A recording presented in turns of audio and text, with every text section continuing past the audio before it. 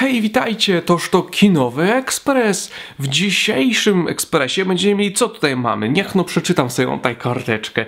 Zeszłotygodniowa gwiazdorska premiera Big Short. A poza tym klasycznie lista premier oraz segment Sylwetka, który powraca trochę z grobu, w której przybliżę wam pewnego Polaka, artystę, którego możecie nie znać i to jest ok, dlatego że ja go nie znałem jeszcze parę dni temu, a jeżeli znaliście, to dobra robota czy coś. Co chcesz, order? Czasem się zastanawiam, czy z takim poziomem wiedzy, jaki ja mam, ja w ogóle powinienem robić serię o filmach. No trudno, trochę za późno, żeby o tym myśleć, nie? Tut, tut. Kiedy sobie zamontuję pod sufitem i będę robił autentyczne tut, tut.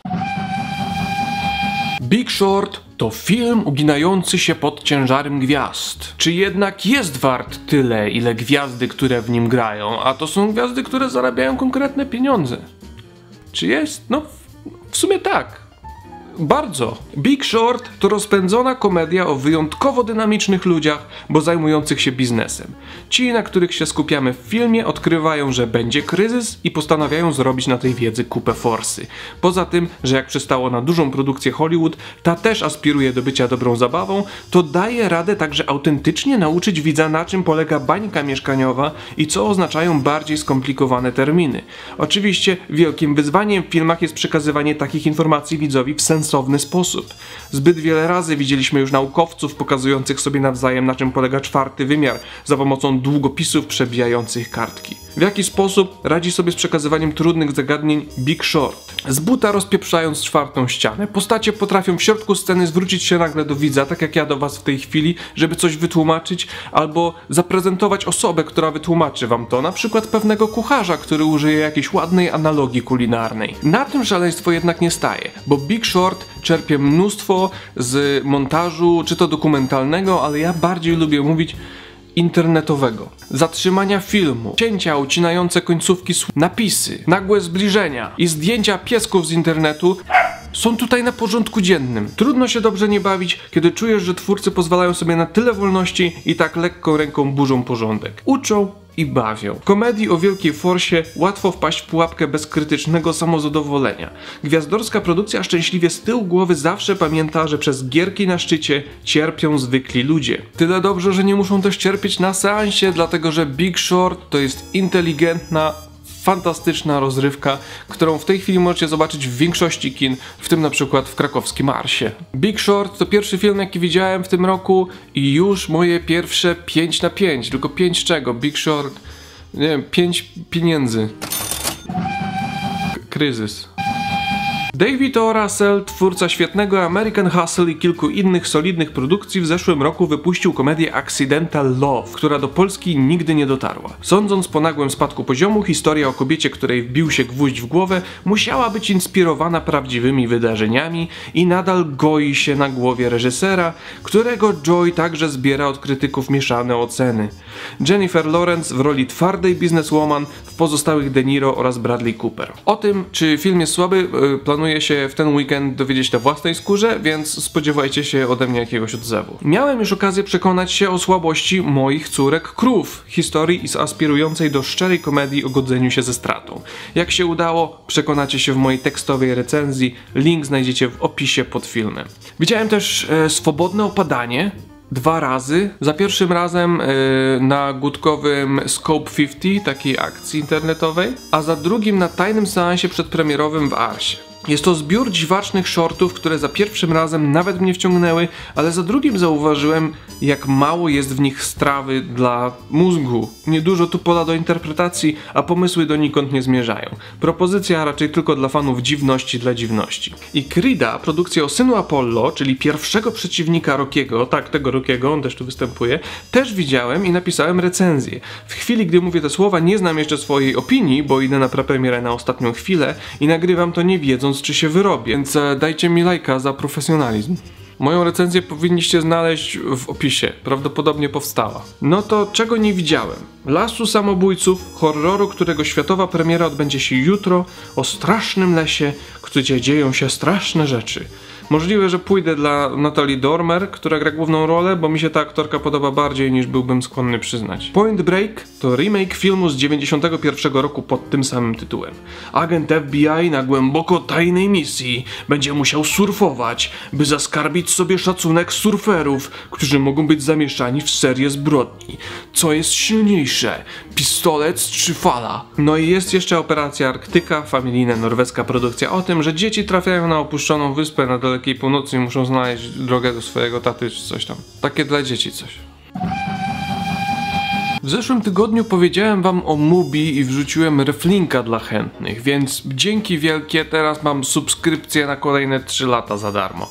Nie żebym nie był wdzięczny, ale to przekracza pewne granice, nie potrzebuję aż tyle Mubi. Więc teraz każdy, kto napisze ładny, fajny komentarz pod tym filmem, może wrzucić reflinka od siebie do Mubi i ktoś inny może skorzystać z 30-dniowego triala i osoba, która daje reflinka daje 7 dni. Korzystajcie nawzajem. A jak ktoś nie wie jeszcze czym jest Mubi, to zapraszam do ekspresu sprzed tygodnia, z 1 stycznia. Zacząłem w niedzielę na poważnie korzystać i odkryłem takiego Polaka, Waleriana Borowczyka, którego dwa filmy da się w tej chwili zobaczyć w tym serwisie. Człowieka, który razem z Janem Lenicą wstrząsnął światem polskiej animacji. Od początku uważał, że animacja to forma sztuki, a nie sztuczka dla dzieci, żeby zająć je na kilka minut.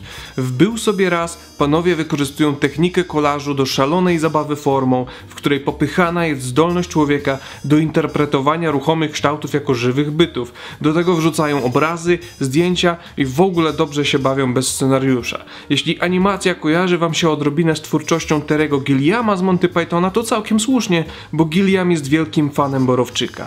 Po stworzeniu kilku innych fascynujących, bardzo różnych animacji mieszających techniki, Borowczyk wyjechał do Francji, gdzie mógł sobie pozwalać na więcej wolności. Nie stronił od pokazywania animowanych demonicznych języków w pochwach, e, które z rozkoszą bym wam pokazał, ale boję się, że YouTube mi zablokuje film, bo to jest coś, co on robi, kiedy pojawia się jakaś pierś. Jedną taką animację i kilka innych możecie zobaczyć na Ninatece. Link w opisie. Niektóre za darmo, niektóre płatne. Czy ja mam cień jak robię? Wow, mam cień. W 1968 roku Borowczyk zabrał się za pełnometrażowe filmy fabularne. To wszystko nadal we Francji, bo tam tworzył i żył do samego końca. Zaczął od Goto, Wyspy Miłości, która mimo tytułu i golizny nie jest jeszcze filmem zaliczanym do pornografii, jak niektóre jego późniejsze. Nie jestem wam w stanie przybliżyć tej produkcji poza tym, że traktuje o dyktaturze na mitycznej wyspie, bo jej nie oglądałem, ale kolejny i najbardziej chwalony przez krytykę obraz Blanka już miałem okazję. Jest to przerobione przerobiona na francuski sztuka Mazepa Juliusza Słowackiego. Na początku trudno mi się było przyzwyczaić do metod pracy reżysera. Valerian musiał zawsze kontrolować wszystko, traktował swoich aktorów trochę jak automaty. We wnętrzach usunął głębie, stawiając swoich aktorów zaraz pod ścianą. Innymi słowy, kiedy rozmawiają ze sobą, obserwujemy postacie z boku, jak w jakiejś oldschoolowej grze, albo co jest pewnie celniejsze, jak w jakimś jeżdżącym teatrze kostiumowym. Pomyślelibyście, w rękach takiego control freaka na pewno nie ma miejsca na szaleństwo. Messieurs, à vos armes.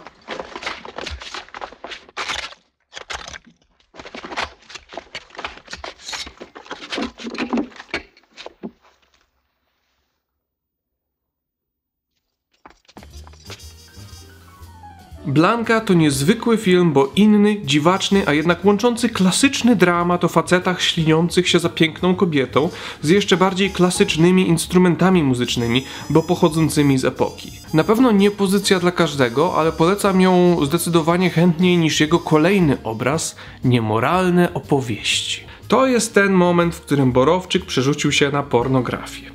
Bardzo piękną formalnie, ale je. Niemoralne opowieści to są cztery historyjki w teorii, ale na Mubi umieszczono rozszerzoną wersję o short, który potem został wycofany, żeby zostać częścią innego filmu pełnometrażowego, następnego filmu Borowczyka pod tytułem Bestia. Więc każda opowieść w niemoralnych opowieściach jest na swój sposób szalona. Od drobiazgów typu dawanie na obiad ogórków dziewczynie karanej za masturbację, bardzo dobry plan, na pewno nie będzie tego robić więcej, po próbę zsynchronizowania orgazmu z nadchodzącym przypływem jako trzon historyjki. W niemoralnych opowieściach na zbliżeniach zobaczymy tylko nagie kobiety. Mężczyźni są prawie zawsze odziani. Nie mam pewności, co sądzę o tej produkcji tak szczerze. Notorycznie przekracza granice i staje się zwyczajnie po prostu bardzo konsekwentnie, bardzo ładnie nakręconym sexploitation. Jeżeli znacie angielski lub francuski, to na Mubi znajdziecie oba filmy Borowczyka po francusku z angielskimi napisami i możecie przekonać się sami. Ja pewnie nie będę się zagłębiał w jego późniejsze seks eskapady, ale pewnie obejrzę sobie jeszcze kilka jego filmów animowanych. A wy dajcie mi znać, czy znaliście jak dotąd Borowczyka i co sądzicie o tym no na pewno bardzo niezwykłym twórcy. No i to tyle w dzisiejszym ekspresie. W sumie, w sumie sporo, co nie? Całkiem sporo. Pracowity dem poleca ten styl życia, nie żebyście się mieli przyzwyczajać. Do zobaczyska za tydzień. Piszcie komentarze, dawajcie lajki, ja wszystko czytam, ja wszystko widzę. A i zajrzyjcie do opisu filmu, bo wrzuciłem tam kilka fajnych linków. Kliknij chociaż jeden. Zjedz chociaż mięsko zjedz.